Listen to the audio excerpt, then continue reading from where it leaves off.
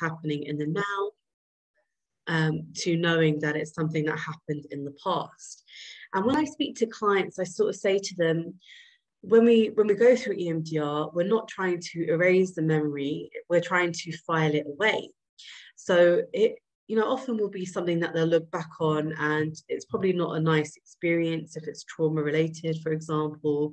They're probably not going to be really happy that it happened. But really, what we're working on is reducing the level of distress or hyperarousal. So they can get more of a helicopter view and they can view the incident as something that happened in the past, but they're able to manage their emotions and regulate themselves in the now. And the reprocessing element so once you resource, you then go into the reprocessing. That will go much faster when the client is feeling more stable or secure. And when I say stable, I mean that they're more able to regulate their own emotions. So if their emotions are going a bit like this, they know how to come back to their equilibrium because they've got the resources to do that. And in that way, they can start to tolerate higher levels of distress as well. And EMDR is, is very precise. So you're working with specific memories of an event or a distressing event, and you work with one aspect or one trigger at a time. And what you're doing is you're putting fragments of the memory together, and this changes the memory. So it's almost like a filing cabinet that's open and the memories on in order. And when you reprocess, what you're trying to do is file the memories away, look at the ones that you need and, and get rid of the ones that you don't need. Um, and you're also helping them through this to create new neural pathways. So if we think about neuroplasticity, through the reprocessing of the memories, they get new neural pathways as well. So we can think about EMDR in, in two parts. First of all, we're weakening the trauma, and then we're strengthening the coping or the resourcing. And you know, even if we do the first part or the second part of them in combination, it can make a real difference to, to clients. But one thing that really surprised me, I mean, I'll be totally honest, when I first um, trained up in EMDR, I was a little bit skeptical. I wasn't quite sure how I'd feel about it. Um, I wasn't quite sure if it's something that I would use in my practice. But um, having kind of utilized it, I do feel that it's, it's something which is can have a really positive effect. So I'm definitely less uh, less skeptical. Um, and yeah, so I will talk about resourcing and I'll sort of explain that a little bit more. Uh, but essentially, the resourcing is strategies or the coping mechanisms that we uh, we support clients with so that they can then regulate their emotions. So if they're able to regulate their emotions, they're then able to go into the distressing events without it feeling like it's happening in the now. So I'll, I'll go through a lot of techniques with you today that you can utilize. Um, so you can think about it as like grounding techniques or uh, relaxation techniques or anxiety reduction techniques. So some of the things you might already do in your practice, and then I'll, I'll just add in a few more tools which you might not be familiar with, which you can then employ with clients, whether you use EMDR or not. Um, and at the essence, really, is a sense of unconditional positive regard. So I didn't necessarily put EMDR and the kind of relational element together, um, but that was something that was really positive in, in kind of how I then internalize the way I use EMDR with clients. So just like most other therapies, the relationship is completely key. So you've got to be thinking about, you know, how is this person dysregulated and what might support them in being able to ground themselves. So similar to other approaches like CBT, for example, you might have to experiment a little bit with a client and go through various resourcing techniques so that they can find the one that could work for them in different situations. Okay. So um, EMDR stands for eye movement desensitization and reprocessing. Um, if you probably Google this or look at YouTube, you'll find people doing this. Um, so traditionally it was sort of the eye movement, but there's now a couple of ways, a couple of other ways that you can also use EMDR, and that's via tapping. So it's not uh, EFT, but different ways of tapping, and I'll go through that with you. And that can be seen as a resource as well, because that works with uh, their uh, sympathetic system to kind of regulate their emotions. And what we're really trying to do is think about how we accelerate how we process either traumatic or frozen or stuck memories. So what it's doing is it's helping um, the individuals to create new neural links. So um, what's what I found interesting in private practice is often when people are talking to you about a frozen or stuck memory, there's parts that they can't remember. So it's almost like gaps in the memory. And that's because when uh, individuals experience a traumatic experience, the logic goes off and they're in their instinct. So there's less of that kind of frontal lobe and the cognitions that are going on. Um, so when you actually do EMDR with a lot of people, you'll find that parts of the story come back to them because you're not only just going into the instinct part, but you're turning the logic on at the same time. So often they can remember things that perhaps they didn't remember uh, at the time, or they get new insights or new perspectives on that. So you're really trying to change the underlying way that they think about um, the, the actual memory. And you very much take this at the client's pace. So you, it's a very heavily focused on the process. So you don't go into the reprocessing bit until the client feels safe to do so. So you very much sort of follow their lead in that respect. So one of the key things about EMDR is it uses a process called bilateral stimulation. So I describe this as both parts of the brain talking to each other. So you're building that connection. But essentially, as it says here, it's the right and the left hemispheres of the brain that are connecting. And when you do that, what you're doing is you're regulating their nervous system. So they essentially are moving from a state of feeling more tense to a state of feeling more relaxed. Um, and as I said at the beginning, when people can't access actual images or memories, you work with the body. So just like you might do in other forms of therapy, you know, where do you feel that in the body? What shape would it be? How does it feel? Does it feel hot? Uh, are there other sensations in the body? And sometimes you can go through a whole reprocessing session where there's no actual memory, but you're work, working on the felt sense within the body and how that changes. And um, with bilateral stimulation, because you're getting both parts of the brain to talk to each other, um, so if you think about walking or running, it's a similar thing. What this does is it introduces a relaxation stimulus to the right brain's way of making sense of the world, to the logical side. Um, and it's getting both parts, the logic and the creative element to sort of talk to each other. So the emotional brain and the cognitive brain start talking to each other. And this creates a rhythm. And this also helps to create a connection and a reconnection between sort of what the past was and the present. So what you're doing through bilateral stimulation is you're transforming a fragmented memory, so bits that the, the kind of emotional brain remembers and maybe bits that the logical brain remembers, you're, you're kind of connecting the two. So what then essentially happens is an individual can look back at a traumatic event, perhaps become more desensitized to it and know that it's not happening in the here and now. So before EMDR, the neural networks between the right and left side of the brain are quite separate. And afterwards, through bilateral stimulation, they connect with each other. So although I can't go into bilateral stimulation with you, I can show you a technique that uses bilateral stimulation that can at least help clients to regulate their emotions. So if they're overwhelmed or if they're, if they're in fight or flight, um, it can help to kind of regulate that so they're able to feel more grounded and more relaxed. And the state that they're in moves from one which is more tense to one which is more relaxed. If there's any questions, then do put them in the chat. I'll keep a lookout for that as well. So I just thought I would share this with you. Um, and this is, you know, EMDR is also based on this. So it's the adaptive information processing model by Shapiro. Shapiro is uh, the individual who also created um, EMDR as we know it now. So um, in this model, it kind of highlights that humans have an information processing system that generally processes numerous elements of an experience in such a way, which means that an adaptive state is reached and that learning is possible. So our memories are stored in interlinked networks, which are organized around the earliest event of that incident.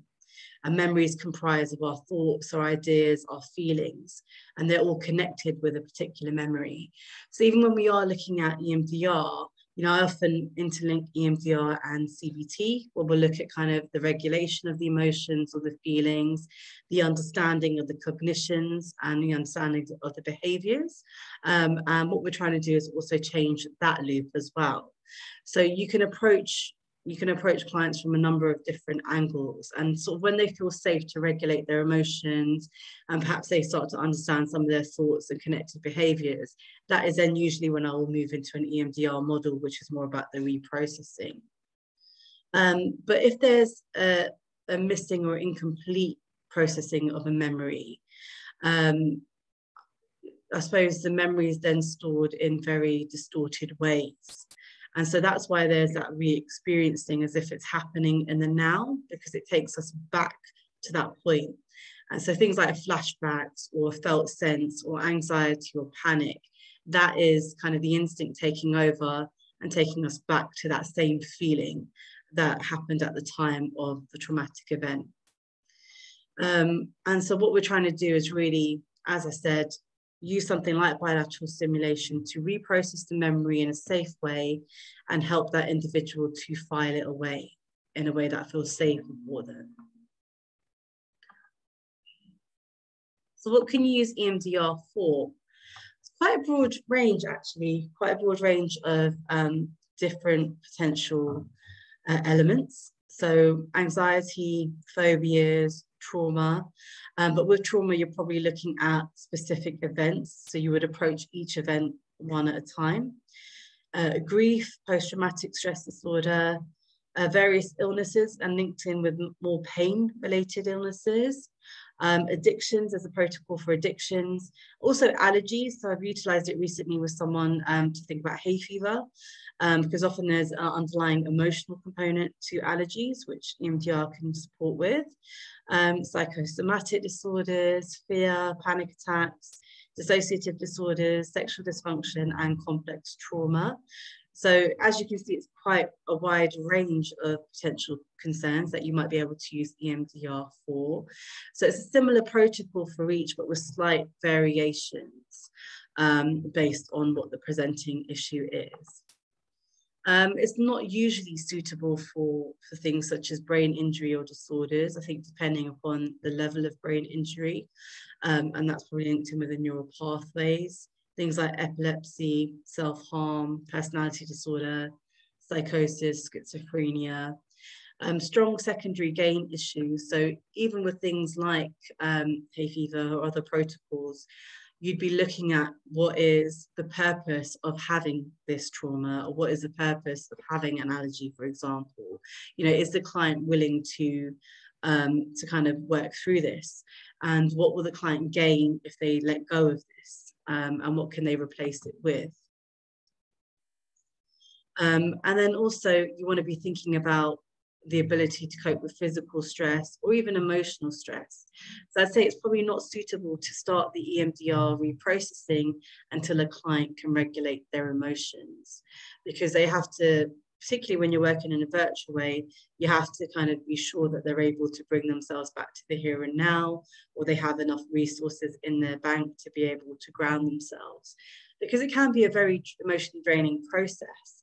And um, a really interesting thing for me that I've noticed is it's not just a kind of emotionally draining process for some clients, but also um, it can elicit real physical pain. So if it was an accident, for example, that client might experience the same symptoms that they did at the time of the incident.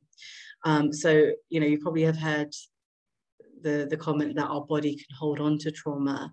And it's quite interesting to see that in the room and, and kind of the trauma shifting throughout the body as well as the emotions. Um, so I think it's about ensuring that the client is ready enough uh, to be able to go through that process with you. Um, there's a link here and we can sort of share this with people. Um, but most of the NICE guidelines do focus on sort of post-traumatic stress and trauma. Um, and uh, I suppose the whole point of showing this slide here is that it's probably much wider than that. But in terms of the research, there is a lot of research in relation to uh, post-traumatic stress. And the more complicated the, the, stress and the trauma, obviously, the more sessions that you might need, uh, because a lot of that will focus on the resourcing, which we're going to talk about now yeah, if there's any questions on on the kind of that part, then do let me know. But what I would like to do with you now is kind of move into some of the techniques that you might use, and maybe we'll also try a few together. So I know that most of you have got your cameras off, and that's fine. Um, but you know, if you if you feel up for it, then do try them as we go along. Um, but regardless of your orientation in terms of your clinical orientation, these are just really nice techniques to have in, in your toolkit, I think, and for clients to have in their toolkit to help them to regulate their emotions. So coming back to someone's question earlier, in terms of resourcing, what we're really trying to do is create a safe um, network of tools that clients can use to help them to regulate and ground themselves. So, um, you know, even if their anxiety spikes or they feel overwhelmed or they're going to fight or flight, they can then essentially put the lid back on that for themselves if you have a pen and paper handy, um, that will be really useful for one of the techniques um, that we'll probably go through because it'd be good to sort of try them out and test them out if you can. So just before we go into the resourcing, I can't go into this in lots of detail, but I just wanted to give you an overview of what happens. So after we've resourced and we've prepared with the client, we go into the EMDR treatment or the actual reprocessing bit where we go into the memory. But uh, this is essentially kind of what it looks like. It's an eight phase model. So if you ever see a diagram, it looks like a circle and there's sort of eight phases that you work through.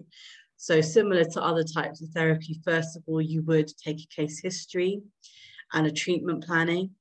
Um, and actually what you would probably do is a trauma map, because even though you might be focusing on one specific incident, you never know where the memory can go or where the brain can go. So what I've also found quite interesting is sometimes when people are reprocessing a memory, it goes in chronological order.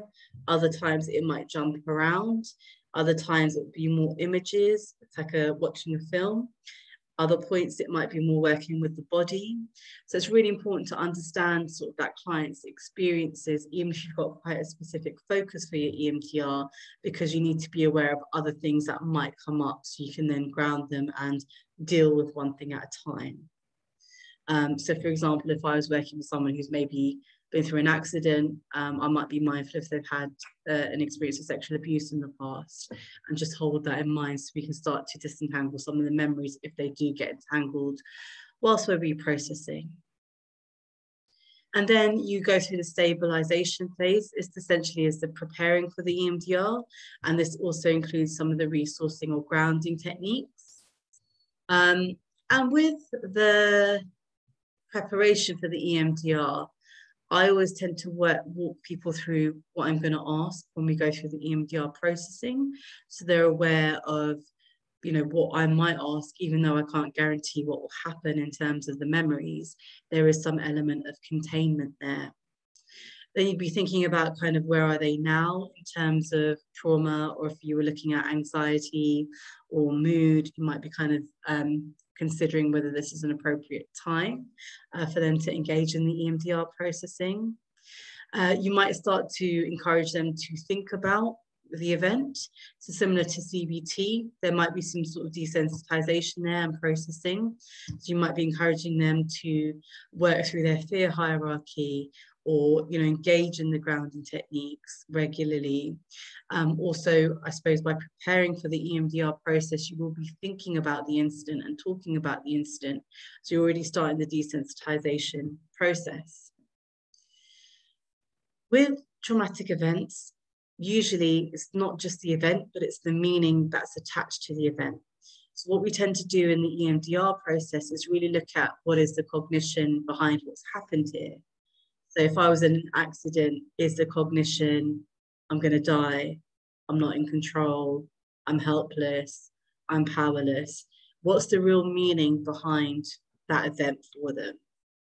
And then you would look at what do we want to change that to? So, for example, if um, the negative cognition was I'm in danger or I'm going to die, perhaps we might flip that to something like I am safe or I'm resilient, or I'm powerful, uh, or I'm able. So you work with the client to really establish what it is that they want to instill.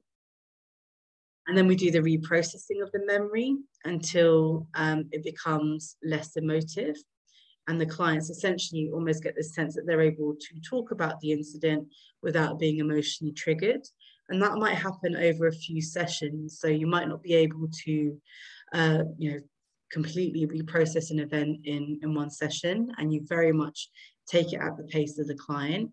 And often when we're doing the reprocessing sessions, it would be 90 minutes rather than 60 minutes to really allow you that time to lead into it, do some of the reprocessing, and then some of the grounding as well. Um, and then at the end, when you're kind of ending the session, you would do a body scan just to see what's going on for that client. You would then think about kind of how you ground them and their safety net and what they might do for the rest of the week, for example, or how they might take care of themselves. And then when you come to the next session, you would review. So you'd think about how distressing that event feels and actually whether you need to continue with the reprocessing or whether that feels like it's enough at that point in time. So roughly that's how the eight phases of treatment sort of go.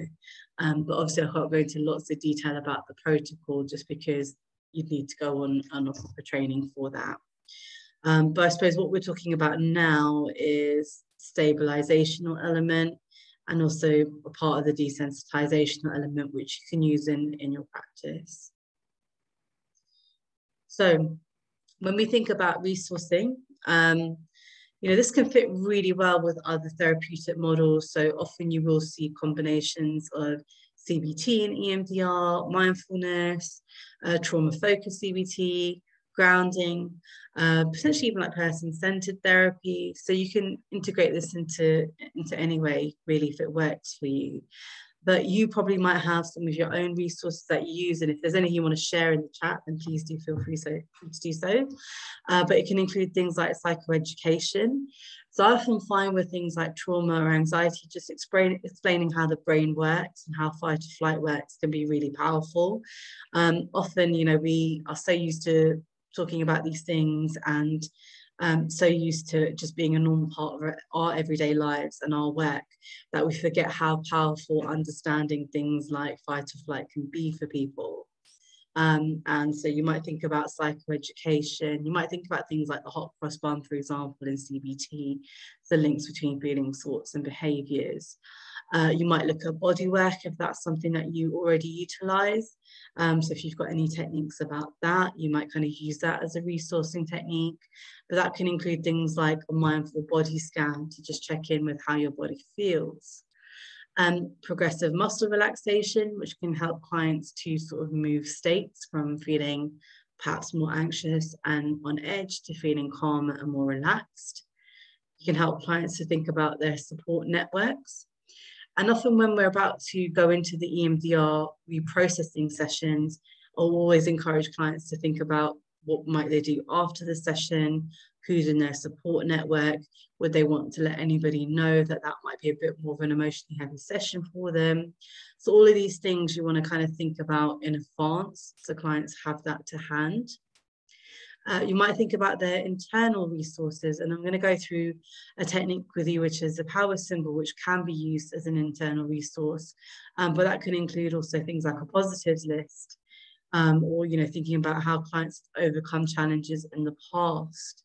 Um, it can also include internal strategies or kind of self-care. Um, so what do they use to ground themselves in the now? For example, artwork or creativity or music. So you want to be thinking about the client quite holistically. You know, what resources do they use? What can they continue to use as well in between sessions? And then maybe thinking about something like um, grounding statements as well.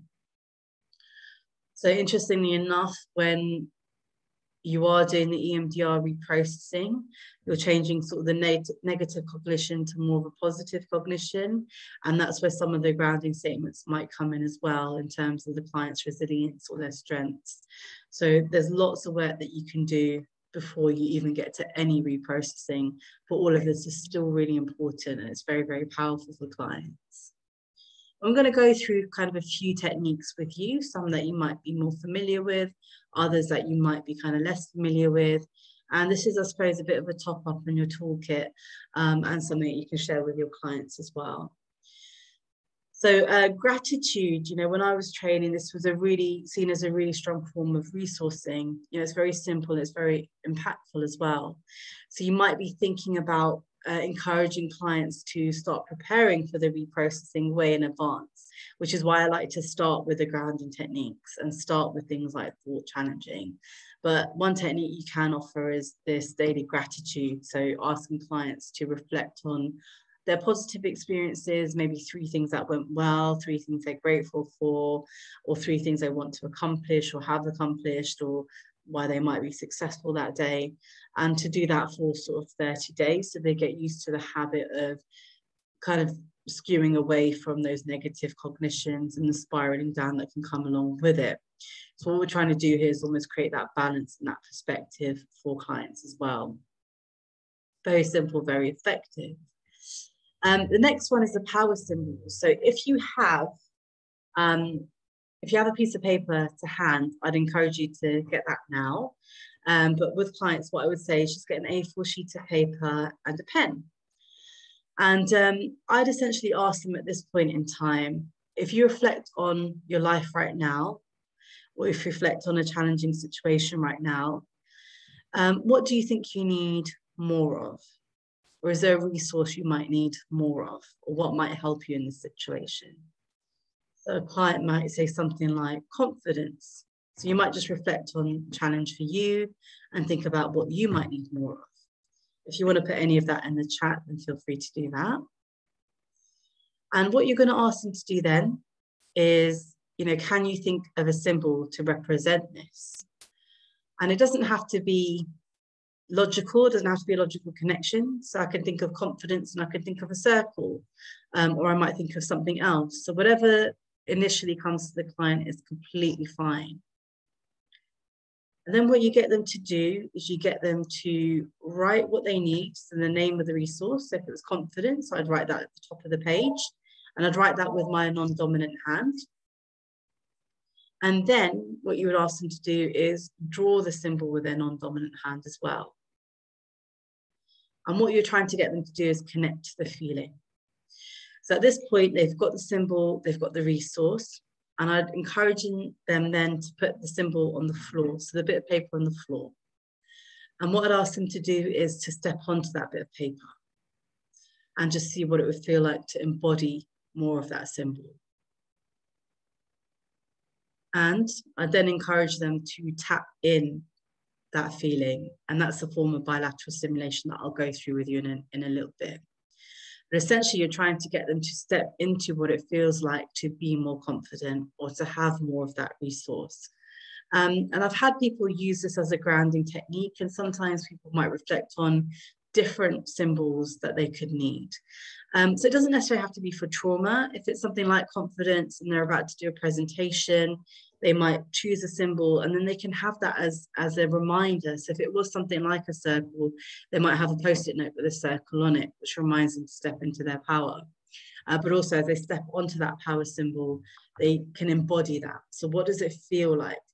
What would they be thinking you can often see that people's posture changes so they stand straighter stand taller and obviously, as we know, our non-verbal behavior is, is really important in terms of creating a change for us as well. So I'd encourage you to sort of try this out for yourself. If you're feeling like you could do with a power symbol, what would that look like? How would that feel? Run through it, step onto your power symbol, embody it, and see how that feels. So you're really tapping to anchor the feeling into your body.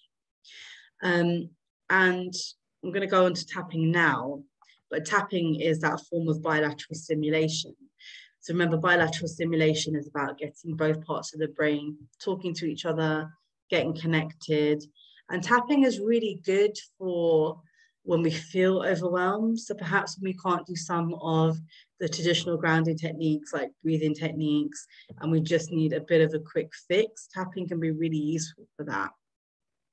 And there's a few ways that we can do that. So we also do use tapping as part of the EMDR reprocessing procedure as well. So although you can use sort of eye movements, you can also use tapping as a way to reprocess memories too. Um, and clients can either tap on themselves, or if you are in the same room and it's safe to do so, you can also tap on them. Um, so there's a few ways that you can use this. Um, but you know, in terms of tapping, there are a few few ways. Um, the first way is butterfly tapping. Once again, I'll encourage you to try this, and you can try this with your cameras off. It's completely fine, uh, because you also want to encourage clients to be able to do this, so they can then figure out the best method for themselves. So with butterfly tapping, what you do is you cross your arms and you find a position on your arms that feels comfortable. So it might be higher up, it might be lower down. And essentially you then start tapping one side and then the other. So you could tap faster or you could tap slower. You find a rhythm and a pace that feels right for you. This works with your sympathetic system or the fight or flight system, and it literally helps to sort of calm that system down. So it's really a good one for children as well. Um, and if you think about walking or you think about running, you know, often why people feel quite relaxed after they walk or they run is because it is bilateral stimulation. So it mirrors this. So this is also a really good technique, maybe if you're in a space where you can't go out for a walk, if that's something you would normally do, um, or you can't go out for a run, if that's something that you would normally do. This is a nice way to sort of stimulate the same response.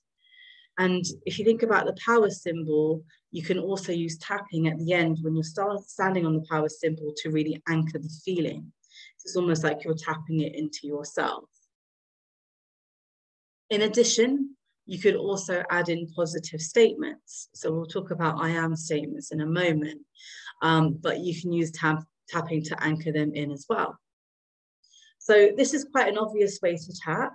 And some people like this feeling, they find it nurturing, but for others, they find it a little bit suffocating. So that's why it's important to check in with your client to say, you know, how does that feel? As you probably would do that anyway.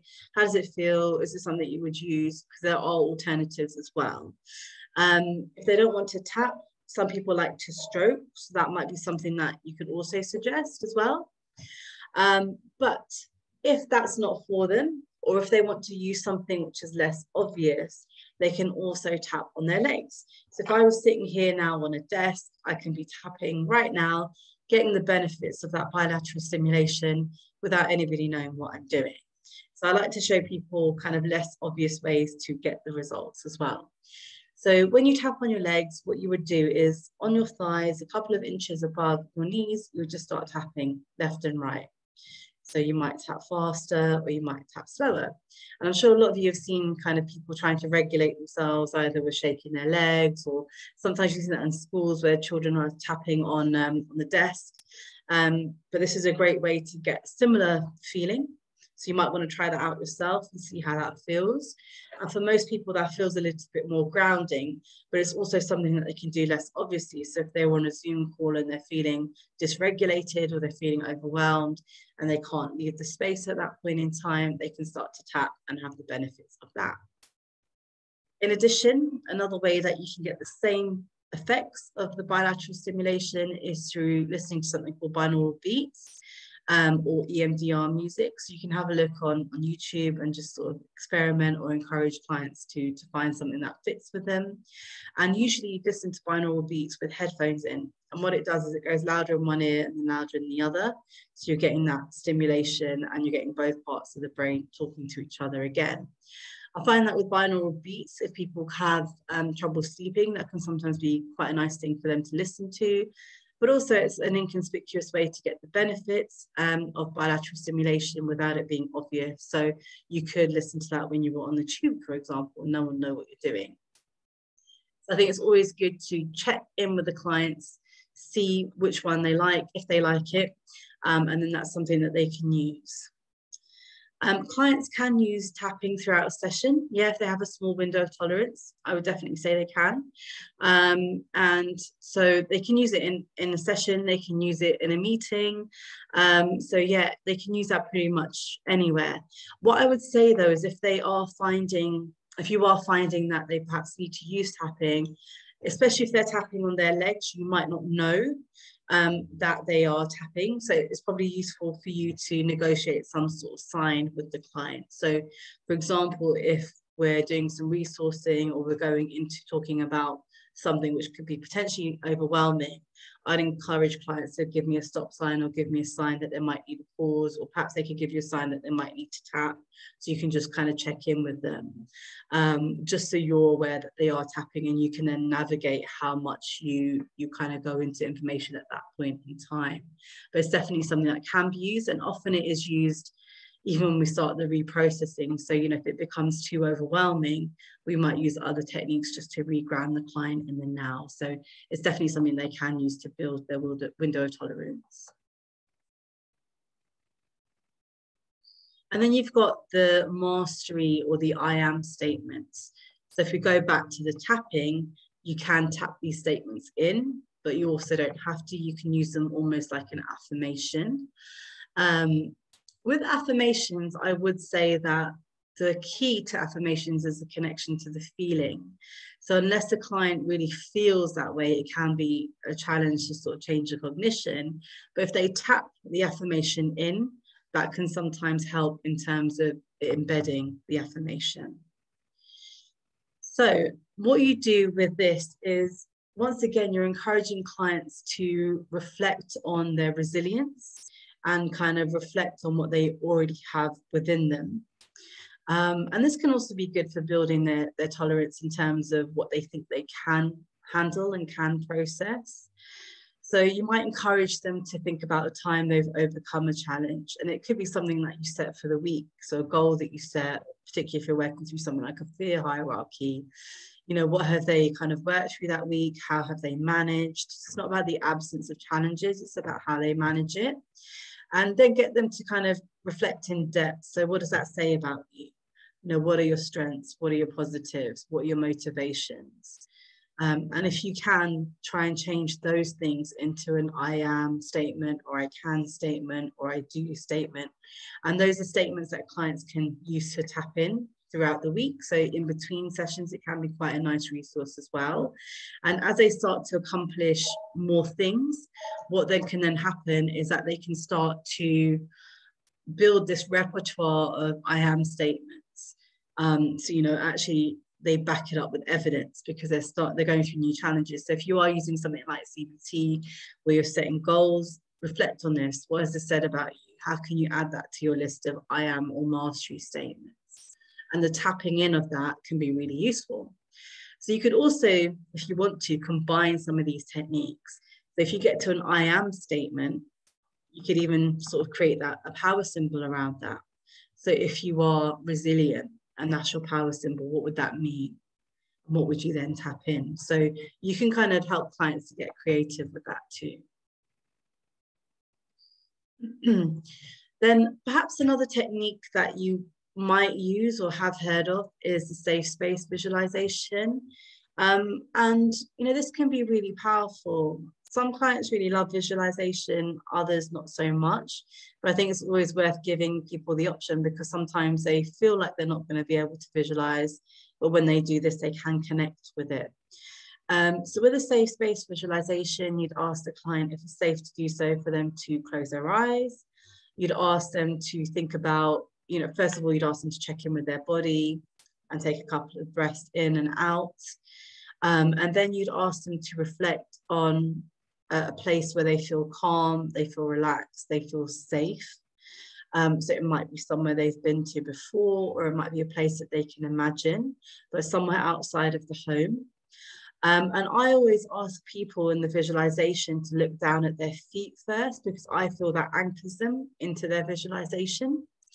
And then you just gently encourage them to explore what they can see around them with all of their senses. So colors, the shapes, perhaps the temperature, um, if they can hear any sounds or taste anything or smell anything, and really get them to sort of embed into their visualization until they start to feel calmer and more relaxed.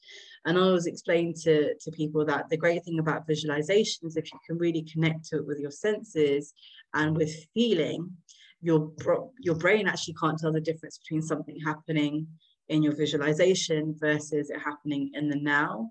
So it's quite a powerful tool. Um, most people that I tend to work with probably use a visualization maybe at night time. So if they are in a safe place already, if their home is safe for them, um, or if they're struggling to go to bed, I might suggest they do something like a visualization with the tapping, because that can help as well. Um, and, you know, for some people, this may not feel safe. So, you know, they might not feel able to close their eyes. They can either look at something in, uh, on the floor, maybe kind of a point on the floor, which feels safer. So I wouldn't push this unless a client feels ready to engage in a visualization. And perhaps if they're not ready at the beginning, it might be something that you come back to, and that might be an indicator that something has shifted for them as well, which can be a really nice validation of their progress too. So an EMDR technique that I like is, is the vault. Um, and this can be really good for flashbacks or intrusive memories as well. Um, once again, it is a visualization technique, but essentially what you're doing is you're creating a container for distressing materials. So if I was to kind of run through this with a client, you know, I'd ask them once again to close their eyes, if that's safe to do so and I'd you know say something along the lines of imagine that there's a container or a vault in front of you. It can be any shape it can be any size. So I'd really encourage them to look at the container or the vault to have a look around just to think about the size think about the color think about the material maybe think about the location the shape. So really get them connected to this um, and then you would kind of say to them that if there's anything they'd want to put in the vault, they can. Um, so it might be an emotion, it might be a memory, it might be a thought. And then what you'd ask them to do is put whatever they want to put into the vault and you ask them to see the door shut. So for some people, it's almost like a little safe. Um, for others, it might be some, something similar to a big bank vault, which they then kind of shut the door and you'd ask them to see the, the, the door lock. So whether it's a digital lock or a lock that they actually move. Um, and then you would say to them that this is kind of your vault and you decide what happens when the door is shut. So either it disappears or you can come back to it whenever you're ready, but they're in charge of how the vault opens and when it opens. So you're creating that safety for them. Um, and they can decide what then happens. And so the vault can be, you know, I've used it quite successfully with people who do have intrusive memories. If they feel like they can't sit with the intrusive thoughts, they can put that in their vault until they're ready. Um, so that can help. And even with flashbacks, sometimes the vault can be an interesting technique. Um, but once again, I think you probably need to work with the client just to see if visualization is something that they naturally connect with too. So for me, EMDR is kind of probably much more creative than I originally thought. So that's probably some of my biases in terms of it. And as you can see, there's lots that goes into sort of the preparation process more than just the reprocessing of the memory. The reprocessing of memory is quite a small part. It's more the safety and the tools and the resources and the regulation that's very essential. And, and you know, clients can use that in other parts of their life as well. Um, so they're kind of life skills that we're embedding clients with.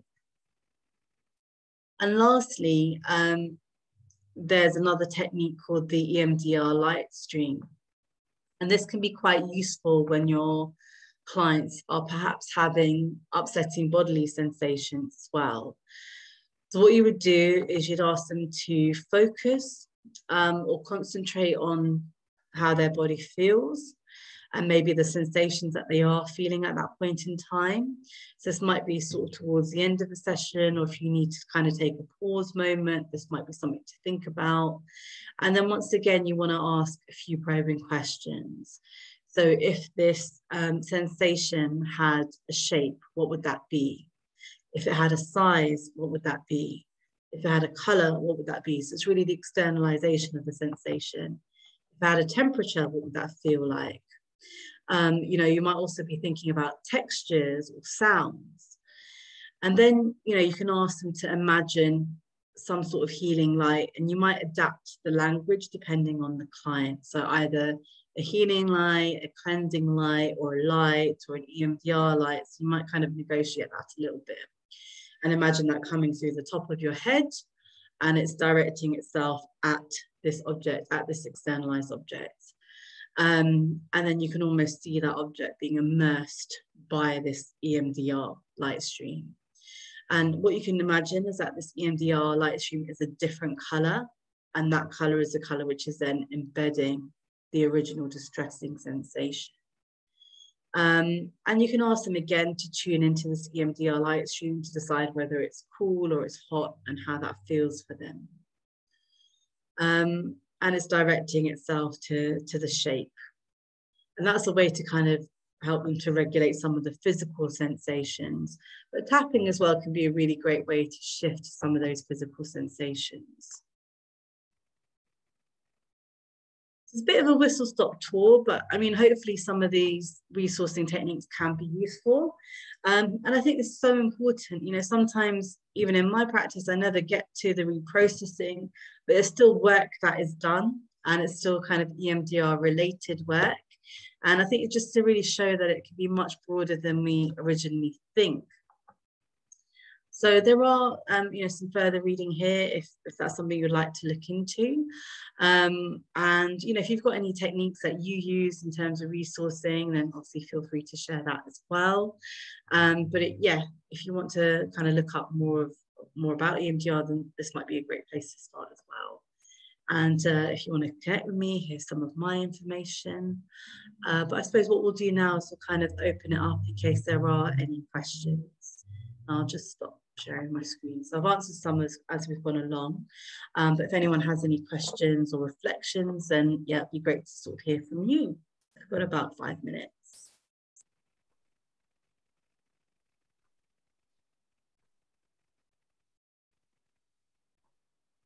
Thanks very much for that, Rina. That was really great.